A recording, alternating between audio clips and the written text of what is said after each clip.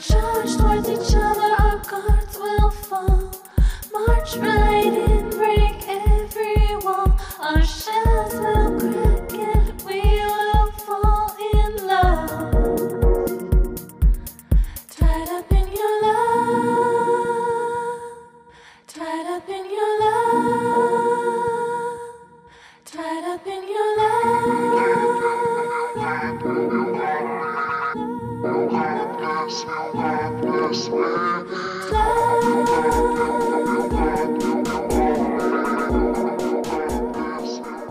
The overall look of the shoot when we started talking about uh, creative direction was basically pairing lingerie, like really clean line lingerie, with really modern, streamlined, tailored, uh, like menswear inspired pieces.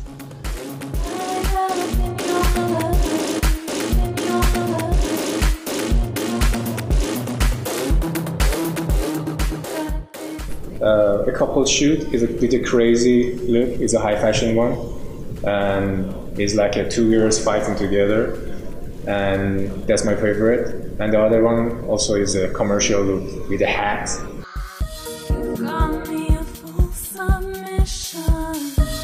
A We've started every shot kind of with full on, with, with the tailored pieces, with the lingerie, with the eyewear.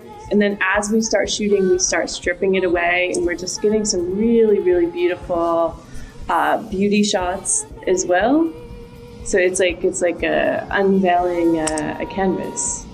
I think we uh, we've really come up with something pretty amazing. So I pulled things from uh, Affinitas, uh, Bordelle. Um, there is some La Perla, and then paired that with really high-end eyewear. She know what exactly I want for my shoot. My other colleague, Sai, he is my creative director and also uh, he is partner of the Faces company.